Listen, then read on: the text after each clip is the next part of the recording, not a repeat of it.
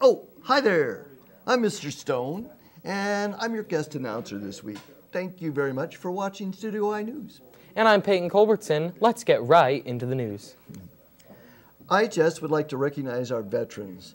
We are collecting pictures of Indianola veterans and or their relatives, and uh, we would like you to send those photos in so we can make a special slideshow for Veterans Day Assembly. It's on November 10th. So please get those pictures of your relatives who've been veterans so we can honor them and email your pictures to Miss Rippiger at amy.rippiger at indianola.k12.ia.us. Juniors, to help fund post prom this year, the junior class will be working at Putney Auction on Sunday, October 8th, which has already happened. So you can probably ignore that. And that's something we should have edited out before we started recording, but that's okay because we're going to keep going. Also, Iowa's 3rd Congressional District is holding a Youth Leadership Summit on Monday, October 30th. That hasn't happened yet. Has that happened yet? I don't The 30th? It's the only 30th? the 11th. Okay, then we're good on that one. So that Yeah. one's fine. If you're interested in that, please see Mr. Calhoun to sign up. The man. Go ahead. Also, in civic news, any ninth grader interested in applying for the Mayor's Youth Council may pick up applications in the main office or download the app from the city's website listed in the emailed announcements.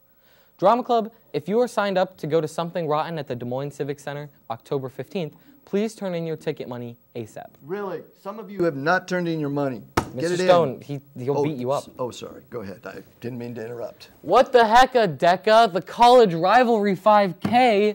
Join DECA for the fifth annual College Rivalry 5K on October 21st. Registration is open and currently only $20. Check out their website for more information and to register. Please join the academic decathlon team here at IHS and put your knowledge of various academic subjects to the test. If you're interested in competing against academic decathletes, I like that word, decathletes. Anyway, uh, academic decathletes from across the state, join the team. District competition, district competition, there we go. District competition starts in January.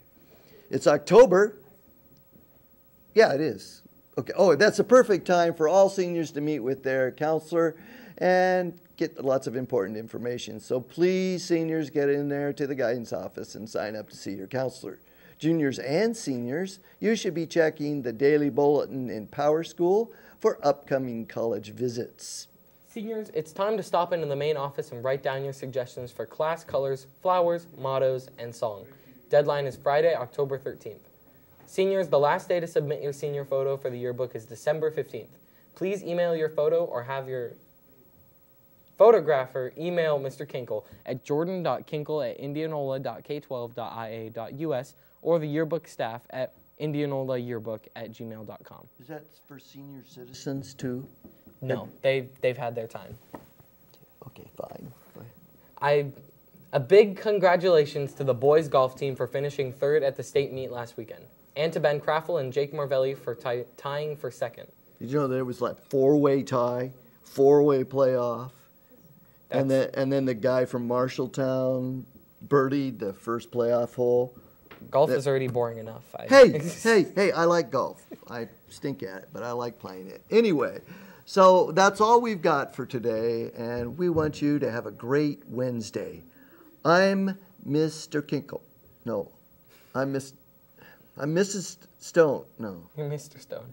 Thank you. Mr. I'm getting old. Sorry. I'm Mr. Stone for Studio I News. And I'm Peyton Culbertson. And don't forget that the Studio I is now streaming house games live on thecube.com. Our channel is called The Studio I, so please follow us today. We're We'll really you next we're week. we're streaming house games. Yeah. Well, well, we stream those too, I guess. It's in the house. Usually we say home games. Home games, Home yes. games and away games. Yes. Yeah. Anyway, thanks for watching. We'll see you next week. Maybe.